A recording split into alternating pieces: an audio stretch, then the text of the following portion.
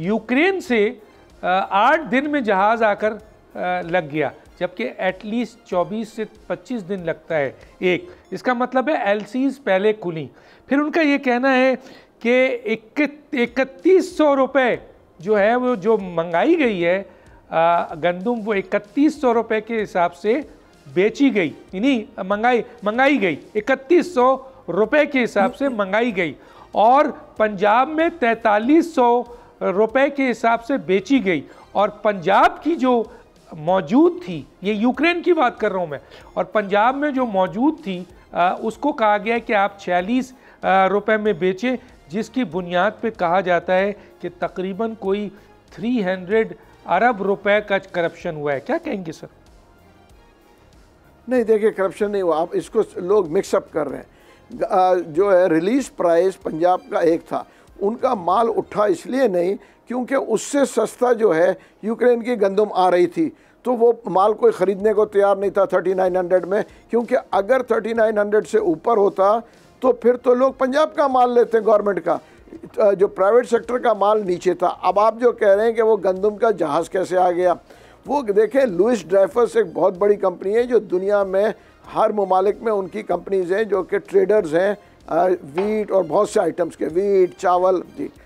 वो कंपनी के पास, उन लोगों के पास जहाज़ फ्लोटिंग पे होता है कि जी, जहाज़ लोड करते हैं और फिर वो जो है, कहीं पे भी उसको डाइवर्ट कर देते हैं। ये किसी प्राइवेट सेक्टर ने नहीं मंगाया, ये लुइस ड्रेफस जो है, बहुत बड़ी इंटरनेशनल कंपनी है। और अगर आप लिस्ट में देखेंगे, सरे फेरिस उनका नाम है, मेरे ख्याल से साढ़े आठ लाख टन गंदम तो वो एक कंपनी है लुइस ड्रेफस जिसने पाकिस्तान में गंदम लेके आई है।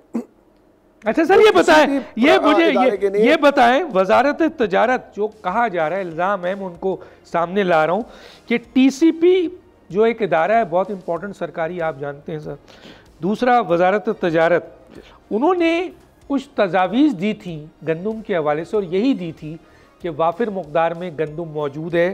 वज़ी तजारत ने मना भी किया था इसके बावजूद नज़रअंदाज किया गया और एक समरी मूव की गई आपके काबीना को और ये सर्कुलेशन में इसकी अप्रूवल ली गई। आ, कहते हैं एक बिलियन डॉलर जो है इसमें इन्वेस्ट किया गया और आ, ये पाकिस्तान की ख़जाने पर भी बोझ है और इससे करप्शन भी हुई जो इसका ज़िक्र किया गया और आपकी आपकी वजारत और टीसीपी ने इसके ऊपर एतराज़ किया था। क्या कहेंगे इसके ऊपर?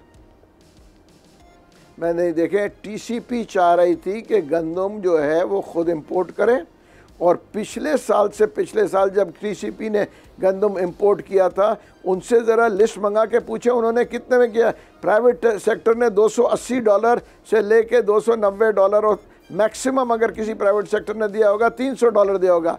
टीसीपी ने जो गंदम मंगाया था, वो साढ़े चार सौ डॉलर में मंगाया था। साढ़े चार सौ और पाँच सौ। देखिए, गवर्नमेंट ने जब मंगाया तो उनकी कीमतें बहुत ज़्यादा हो जाती थी। वो कॉस्ट में नहीं आ रहे थे। और प्राइवेट सेक्टर्स देखिए, जो हम घड़ी घड़ी कह रहे हैं, एक बिलियन डॉलर, बिल्कुल एक बिलियन डॉलर हुआ है। एक बिलियन डॉलर का देखें गंदम आया है। अगर नहीं मंगाते और गंदम आटे की कीमत ढाई सौ पे चले जाती और अफरा तफरी फैलता, उसके जिम्मेवार कौन होते? सब्सक्राइब करें और बेल दबाएँ ताकि कोई खबर रह न जाए।